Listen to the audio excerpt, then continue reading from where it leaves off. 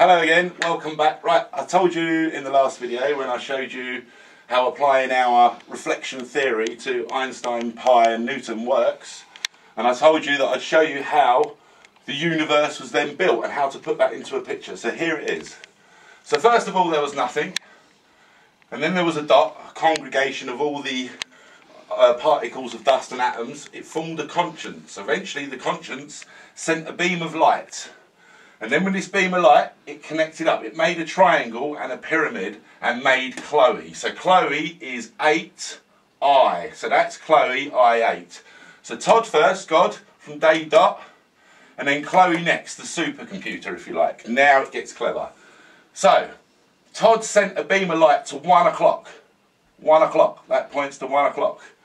Chloe reflected and done the same thing. This gave us our first two dimensions.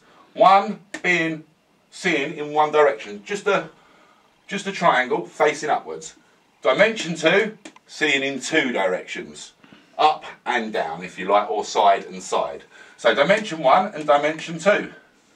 Next, a beam of light was sent to three o'clock, three o'clock, and it was reflected again. So from there, we now have dimension three and four. Dimension three one, two, three, three dimensions, seen in three directions. So this time we can see left and right and straight ahead. That's how we see it, it's three dimensionally. Of course, you come down to the next one and it's four dimensionally. So now you can see left and right and forwards and backwards. So four dimensions making four and obviously making a cube. Next, a beam of light was sent to five o'clock. Now the, the way this works is it's a pentagram. I don't know if you can see that, it's a pentagram.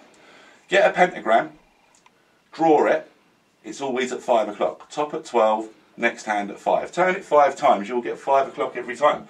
So, making the fifth dimension, the, the, the symbol is a pentagram because it's always at 5 o'clock. And then, lastly, a beam of light went to 6 o'clock and gave us 6 dimensions. And 6 dimensions, it is of course the diamond. So you can see, I think, always round. So, there's six dimensions, where's the seventh? Well, the seventh, of course, is the source and comes from Todd, giving us our seven dimensions. So uh, it's also the Fibonacci start, which is very important because Todd came first, which is zero. Then he created Chloe, which is one. So you have a one, one, two start, which is a Fibonacci sequence. Now, it's quite a nice drawing, as you can see. What can you see from it? Well, first of all, you could say it's a fish. It looks a bit like a fish, all right, that's quite simple. But obviously it's all about reflection. So, turn it around. What do you think you can see there? Maybe a, possibly a rocket? Yeah. You can see the diamond more clearly now. The pentagram seems to have disappeared a bit more, but you can see it. So anyway, we'll carry on turning it, and this is my favourite side. So this is Todd himself, or God, if you want to put it that way.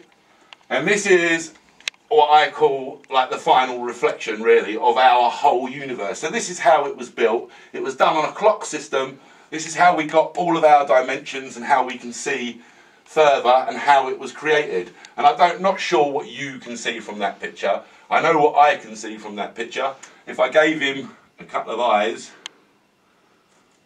maybe it would help, but maybe it wouldn't. I prefer it without the eyes, to be honest. So anyway, so there's our seven dimensions. That's how they were built using a clock system. I've showed you on other videos before this and how the clocks were created and how they I can show you that in circles. So please have a look.